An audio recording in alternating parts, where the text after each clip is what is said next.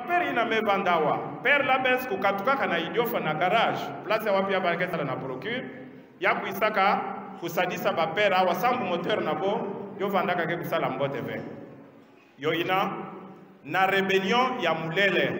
bofwaka bo awa ye bolosaka bamvumbi na bo na ndima ya nzo ya bamimpe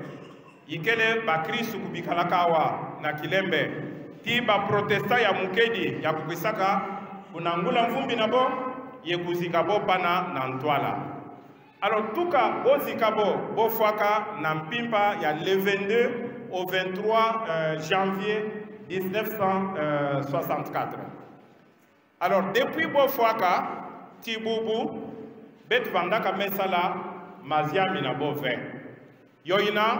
na kilumbu ya bubu betumekuisa samu na kusambula maziami yampa kisongidila nde na kisalu na beto presence ya bamissionnaire obla awa na diocese ya idiofa ti na congo betumelungisa bamvula makumi uvwa nonanta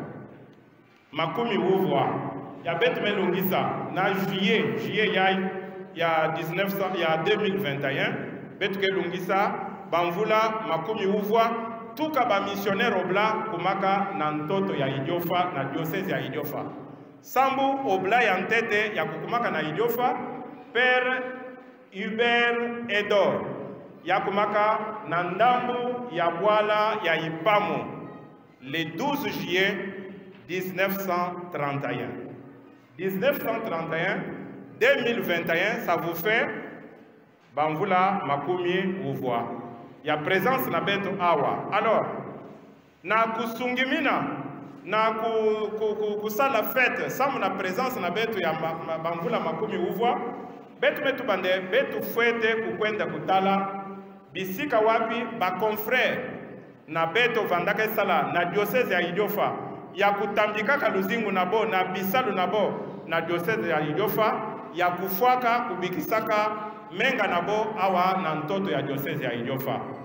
yoyina betu mekuisa kuyantika na kilembe betu sampula masiami yaye kana betu metala kilembe na nima beto atakwenda na mission ipamu sambu kuna pisekopo ya ntete ya ijofa ya kuvandaka wobla monseigneur bosar maziami na yandimbi ikele kuna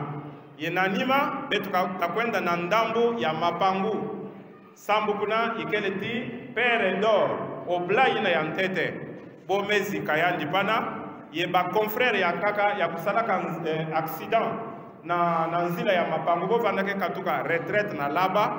bo mpi e mene kuzi kama pana na mapango alors objectif na be to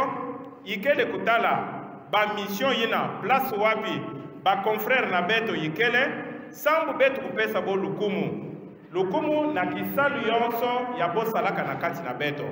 lukumu sambu boyikele bantu ya kunatilaka beto ndinga ya nzambi mpila betu mekuwa na kutanga ya zole santu polo ke kutuba nde mawa na mono kana mono metuba ve ndinga ya nzambi metinda mono yoyina bompi bokudipesaka na luzingu na bo yonso sangu na kukwenda kulonga sangu ya mbote ndinga ya nzambi bokatuka ka belgique tala bapere ina bovanda bajeune mbuta na kati na bo père labens ya vanda ti 45 ans seulement 45 ans bayina kaka zole bovanda ti 42 42 nge muna donc bovanda bajeune mpe tala foto kitoko me na kitoko na bo bombe ya mbula ntoto na bo ya belgique mekuisatia wana kilembe na kusonga beto yesu kristu yikele nani alors betu ya mbula ve ndinga yina ya nzambi mpamba yabokulongaka beto yabokusongaka beto nzila sambu betu kota bikotakota na banzo nzambi ya mpambampamba na nzo ya banganga beto kusimba ndinga yina ye beto kukwamina na kati ya lukwikilo mukepesa beno yonso ya yikelawa ntonda merci mpila ya betu imene kukutana mpila ya betu imekuisa mingi na kusamba mukepesa merci mingi na bamesio labe ya ikela awa je vois l'abbé Dédé, euh, je vois l'abbé Kabeya. Bon, monsieur l'abbé, lola mon eh, zina mefila. Alors, mon gars, pèse ben merci, puis la ben me kuisa, kusamba, kusamba tibeto. Merci mingi na la, euh, euh, monsieur l'abbé curé, sambu na bisalu nyonso, puis la me idika, puis la ndebet kukutana,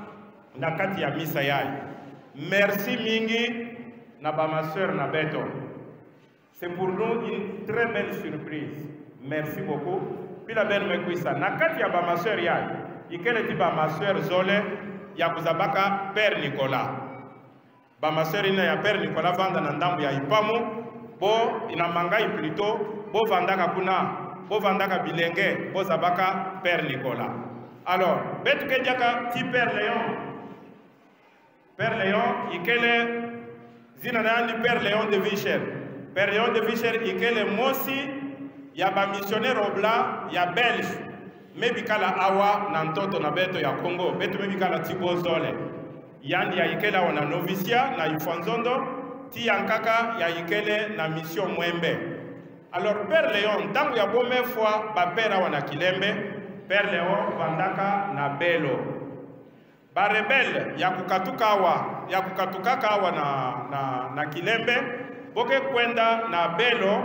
alors bokutaka bapere leon na ntwala yanzo bokekinga sambu bosongaka bonde barebele ba, kekwisa yani vandambi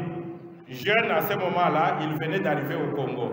alors ya memu nambi barebele ina yo vanda bayai kwa kufa baper yo vanda bagroupe ya nkaka ikele kaka barebele alors yo ina beno yonso en tout cas mpila kutanga mazina kele ve kana ve muvila muke pesa beno yonsu ngote mpila ya beto imene kukutana awa ina ya na makutu ya kuwa